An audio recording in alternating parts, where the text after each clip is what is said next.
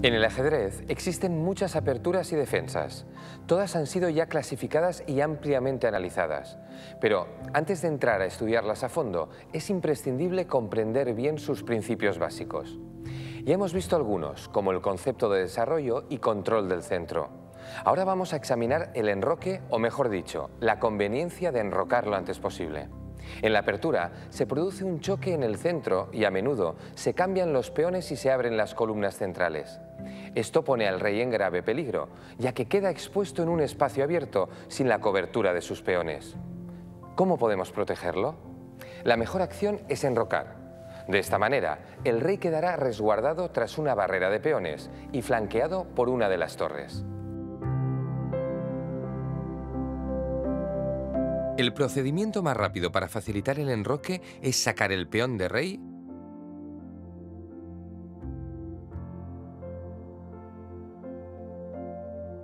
el caballo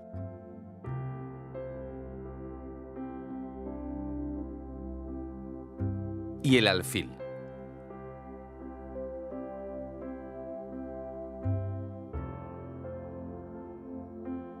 Si seguimos este plan, podemos enrocar rápidamente en la cuarta jugada.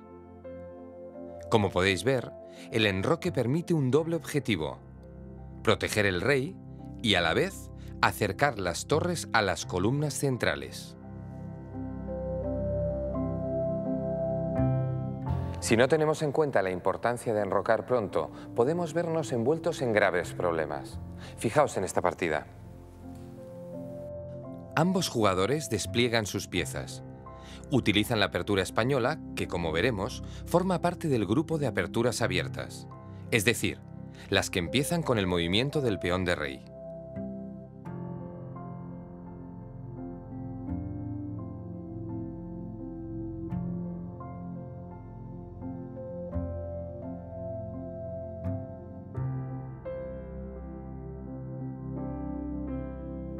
Las negras juegan bien y podrían haber continuado de forma excelente si en la quinta jugada hubiesen enrocado.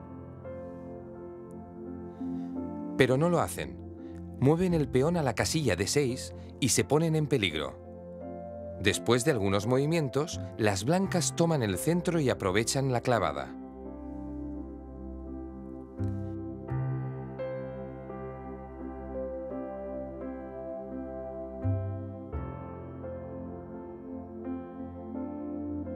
Observad cómo el alfil clava al caballo sobre el rey enemigo.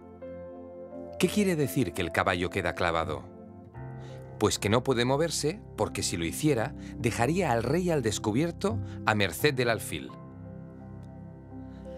La jugada, por tanto, implicaría perder el rey en el siguiente movimiento, pero aunque quisiéramos hacerla, no podríamos. Es una jugada ilegal. Fijaos que además el caballo está siendo atacado por el peón blanco. El jugador negro intenta defenderse, pero a estas alturas es inútil. La pieza está perdida. Si hubiese enrocado, nada de esto habría sucedido. Así que recordad, uno de los peligros de no enrocar pronto está en un posible ataque en diagonal. Pero hay más. Observad. En esta partida se utiliza también la apertura española.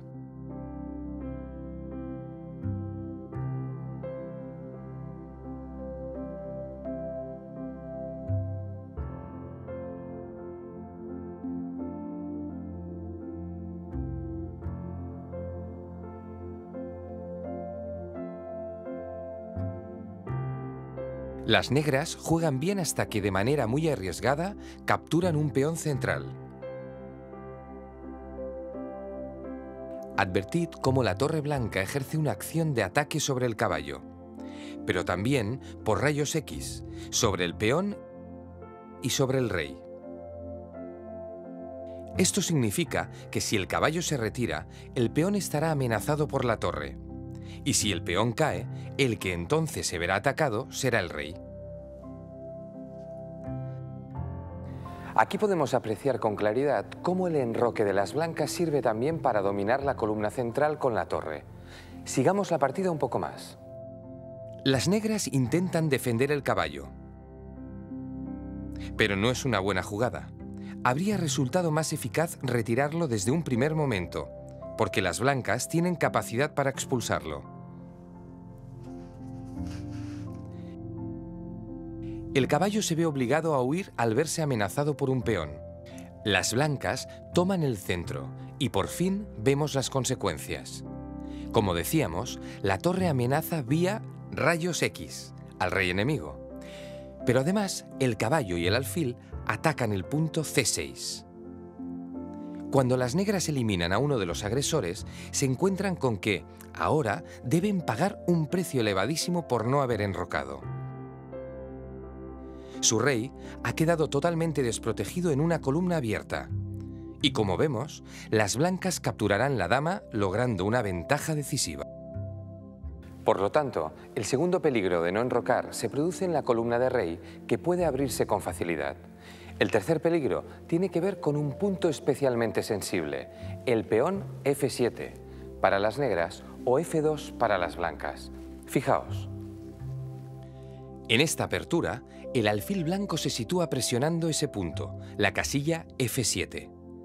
¿Y por qué decimos que es tan sensible? Porque solo defiende el rey, algo insuficiente si la casilla es atacada por varias piezas. De hecho, podemos ver cómo la defensa caballo F6 no reporta ningún beneficio durante la partida. Después del cambio, las blancas montan un ataque que no se puede desarmar de modo eficaz.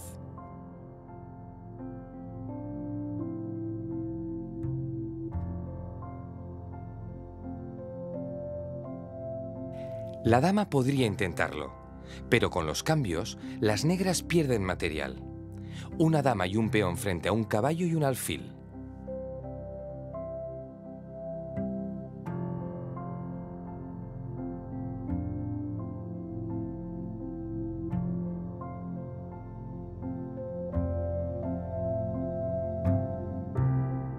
Como hemos podido comprobar, es muy importante poner a salvo el rey antes de que pueda verse amenazado. Vamos a estudiar ahora la segunda razón por la que debemos enrocar la puesta en juego de las torres.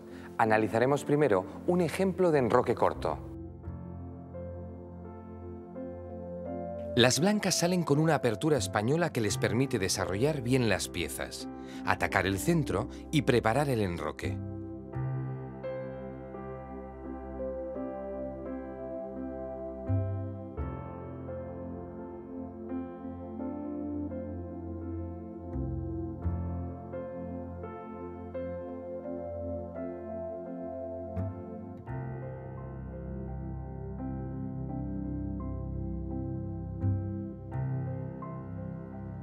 En la quinta jugada, las blancas enrocan en corto, proporcionándole una buena fortaleza defensiva al rey. Pero además, la torre ya está en condiciones de jugar. Si las negras capturasen el peón,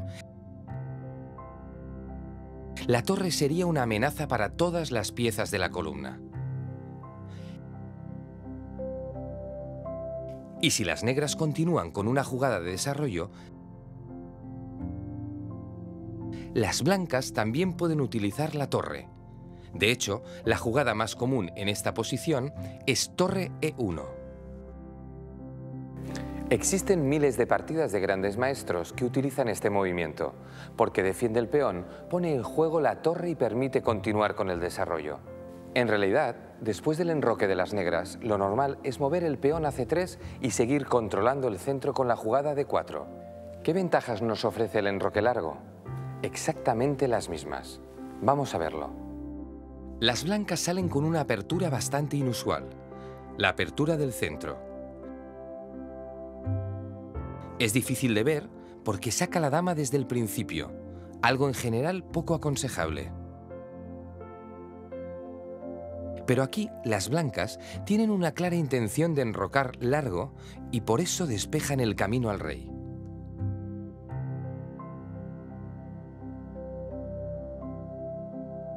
Las negras, sin embargo, tienen en mente enrocar corto y para ello desarrollan rápidamente el caballo y el alfil.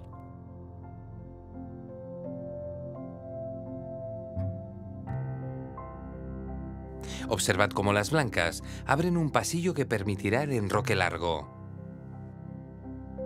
Las negras enrocan, pero ahora ya sabemos qué intenciones se esconden tras este movimiento. ¿No es así?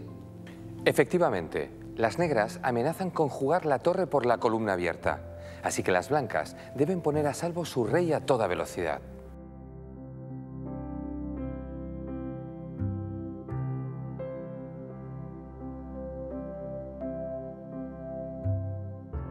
Enrocan y con ello consiguen refugiar al rey. Pero a su vez la torre entra en acción, controlando la columna D. Cuando las negras, con un movimiento muy lógico, desplazan su torre a la columna, ambas torres, la blanca de D1 y la negra de E8, consiguen molestar a la dama adversaria por rayos X.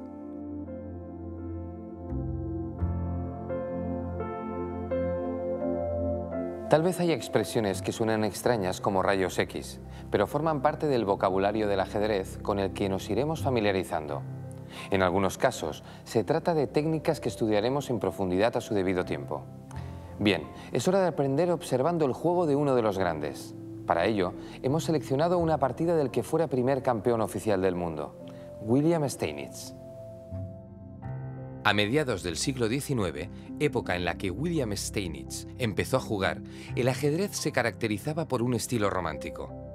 Estaba lleno de brillantes combinaciones y espectaculares sacrificios que perseguían, desde el inicio de la partida, el derribo del rey.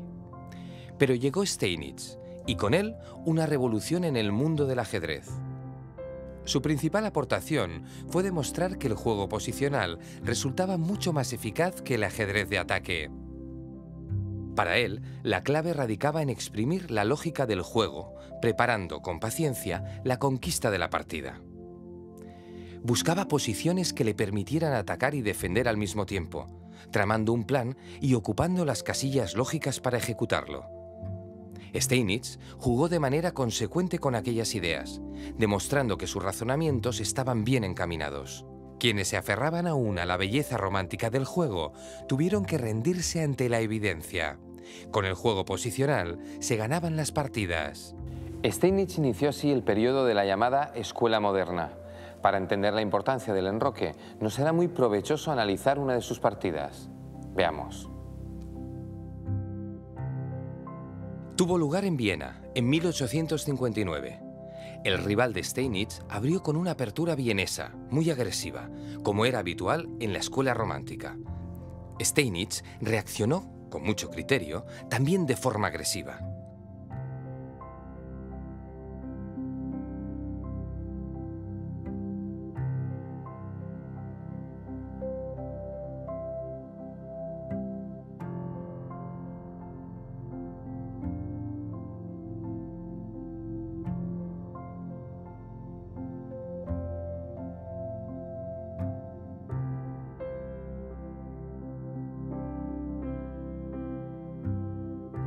Sacó su dama, aprovechando que el rey blanco se encontraba totalmente desprotegido, y con este movimiento puso a su rival en un grave apuro. Fijaos, si el jugador de blancas intentara tapar el ataque, se encontraría con que, después del segundo jaque, Steinitz podría tomar la torre.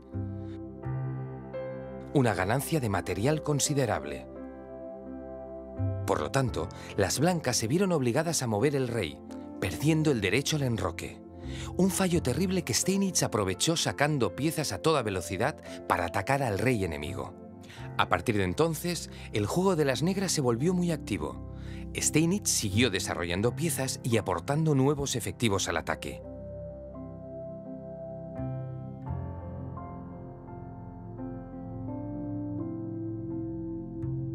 En este punto ya podemos observar las diferencias en la posición de ambos jugadores. Steinitz ha enrocado, por lo tanto, tiene a su rey bien protegido, al contrario que su rival, que está pagando las consecuencias. La partida siguió adelante y Steinitz la ganó de forma brillante. No vamos a analizarla ahora por completo, pero por curiosidad vamos a estudiar la última posición. Aquí la tenéis. Con el último movimiento de la torre, Steinitz daba el mate.